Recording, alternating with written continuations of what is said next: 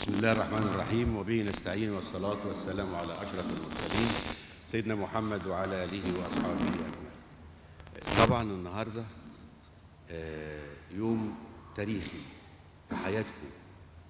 يوم تاريخي في حياتكم لأنك أنت دلوقتي لغاية دلوقتي أنت ما بيطلقش عليك لفظ محامي إلا أنا خريج كلية الحقوق لكن بعد القسم بعد حلف اليمين بتتغير تماما.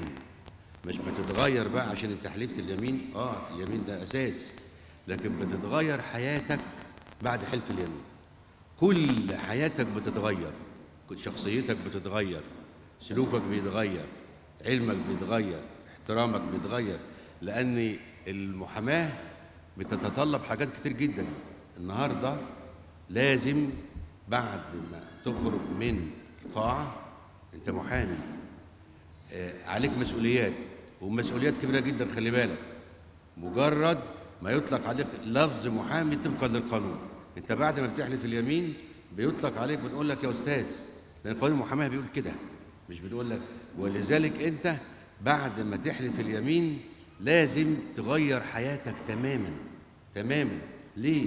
لأن المحاماة ب- من ال- النقابات العظيمة جدا.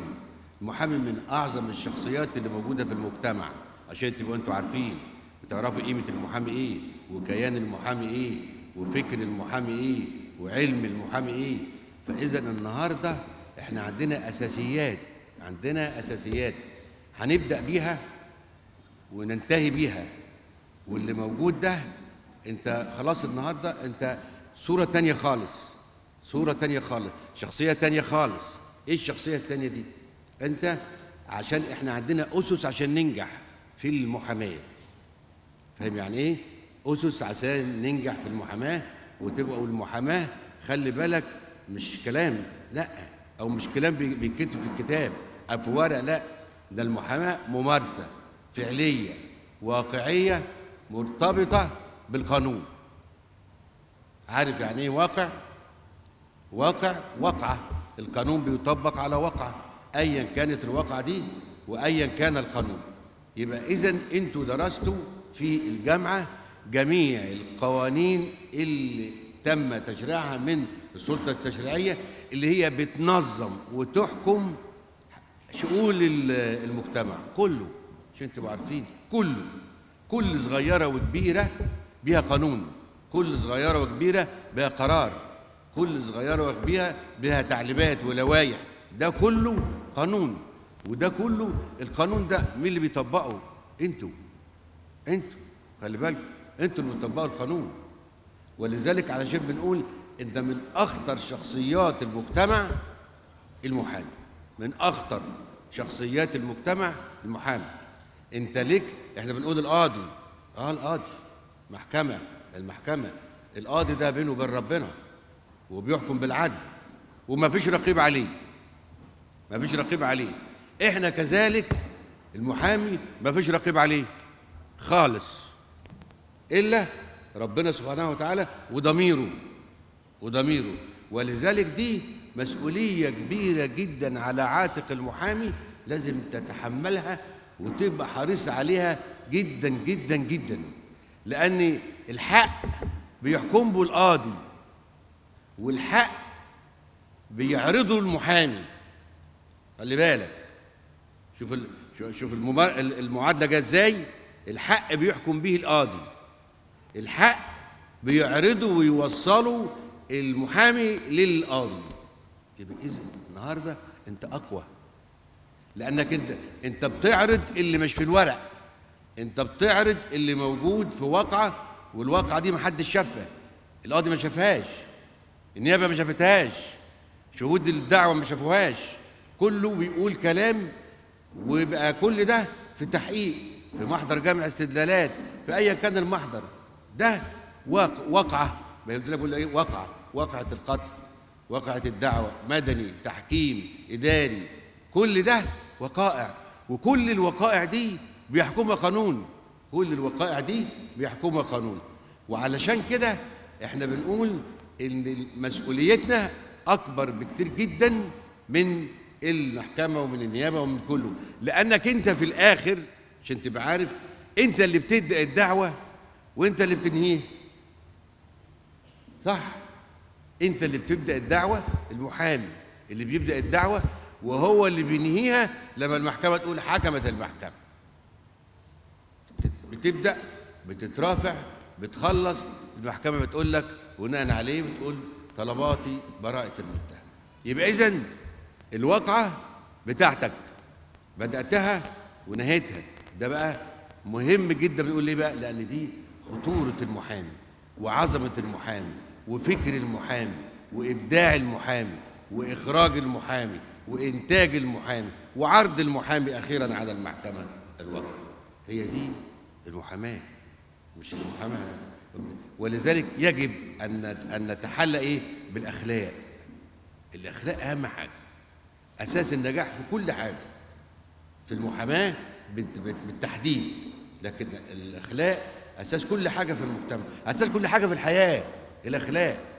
الأخلاق دي ربنا سبحانه وتعالى يعني وصف سيدنا محمد بيها قبل قبل الرسالة قبل سيدنا جبريل ما ينزل وما كنا في جاهلية. ربنا وصف سيدنا محمد وقال له وإنك لعلى خلق عظيم. يبقى الأخلاق قبل العلم. صح؟ ومين اللي بيقول؟ رب ربنا سبحانه وتعالى بيقول لمين؟ بيقول لسيدنا محمد صلى الله عليه وسلم. لغاية ما ينزل جبريل بقى بالعلم. شوف تسلسل الحياة إزاي؟ اللي ربنا خلقه اللي إحنا ما نقدرش نحيد عنه. اللي بيحصل النهارده ده كلام يعني ما, ما أنزل الله به من سلطان. كلام ينفعش وخاصة النهارده إحنا في توقيت مهم جدا. لازم نبقى قريبين من ربنا لازم لأن أساس النجاح لازم يبقى ليك علاقة وصلة بينك وبين ربنا في صلة بينك وبين العبد وربه. أساس نجاحك هو ده.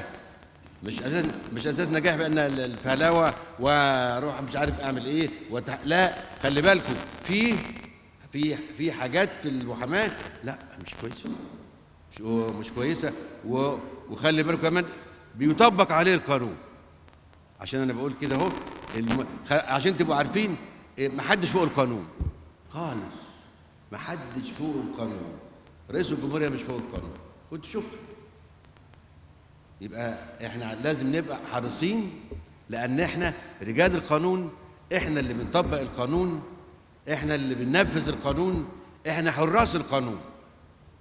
ولذلك المجتمع بينظر لك نظرة متفردة لأن المحامي بيختلف تماما عن أي شخص في المجتمع.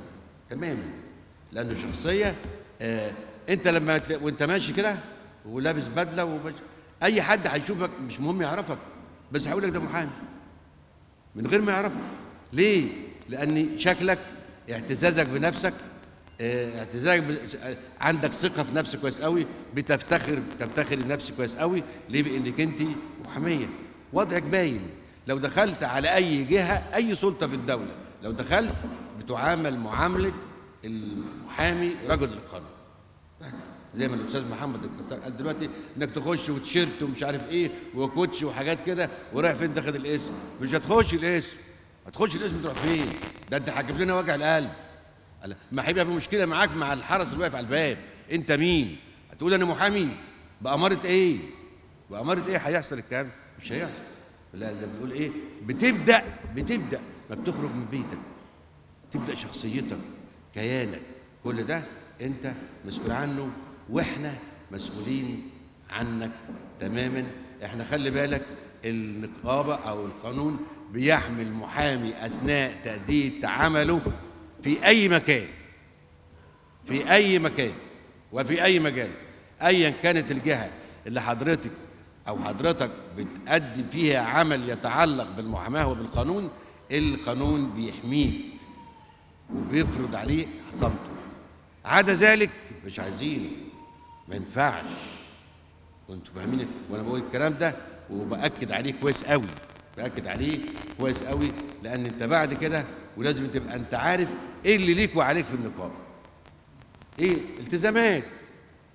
التزامات. التزامات عليك والتزامات وحقوق ليك عند النقابة. تعلم تماما إن النقابة بتتحمل كافة كافة الأمور اللي يتعلق اللي هو آه، اللي خاصة بالمحامي وأسرته. النقابة المحامين هي الوحيدة اللي بتعالج المحامي وأسرته. نقابة المحامين هي الوحيدة اللي بتعالج المحامي وأسرته عارفين أسرته يعني إيه؟ الأب والأم اللي هم الناس اللي جايين ده هم اللي تعبوا عشان خاطركم وجايين النهارده. وعايز أقول إن هم يعني إيه آه، فرحتهم أكتر منكم لأن شافوا جيل ولادهم هم بيحملوا الراية هيبقوا مسؤولين هيبقوا في يوم من الأيام بيديروا النقابة. هيبقوا في يوم من الأيام هم دول آه، شباب مصر هم دول رجال مصر. فأنا آه، بقول آه، النهارده بالنسبة عايز أنقل لكم تحيات معالي النقيب العام الأستاذ عبد الحليم علام اللي هو النقيب المنتخب حديثا. نقيب المنتخب حديثا. اللي هو اختارته الجمعية العموميه لمحامين مصر وادته ثقتها. ولذلك هو هي دي المحاماة هي دي النقابة وهو كان عايز النهارده يجي علشان يحلف لكن الظروف طبعا أنتوا عارفينها دلوقتي. إحنا آه، في أيام حتى كلنا كده دلوقتي موجودين في النقابة. ولأن إحنا عايزين آه، بنشتغل كويس قوي في النقابة دلوقتي. واللي جاي ليكوا خلي بالكم اللي جاي ليكوا مش لينا. إحنا مش عايزين حاجة. خلاص. إحنا مش عايزين حاجة خالص. إحنا كده كلنا النقيب ومجلس النقابة والجمعية العمومية بتعمل بتعمل جاهدة ليكوا أنتوا. ليكوا أنتوا لأن ده المستقبل اللي جاي بتاعكم واللي جاي بتاعكم وأكتر من كده. المستقبل بتاع مصر كلها بتاعكم بتاعهم ولذلك عايزين نبقى عندنا انتماء لبلدنا عندنا انت- انتماء لوطننا عندنا انتماء لنقابة المحامين ونتفضل نحلف اتفضلوا هنحلف. وخلي بالك اليمين قسم ده قسم ده القسم الوحيد اللي في حياتك اللي مسؤول عنه مسؤولية كاملة في كل كلمة بمضمون القسم. كل كلمة كل كلمة في القسم هي دي المحاماة. كل كلمة في القسم هي دي المحاماة. كل كلمة تقعد تتكلم فيها كتير قوي وتقعد تفسر فيها كتير قوي وتقعد تحلل فيها كتير قوي. هي دي المحاماة. ال ال ال ال ال ال القسم ده هو ده. اقعدوا كده بقى يعني فيه وبعدين هنتقابل إن شاء الله. وخلي بالكم إحنا بنقول برضو المحاماة آه ممارسة ممارسة فعلية.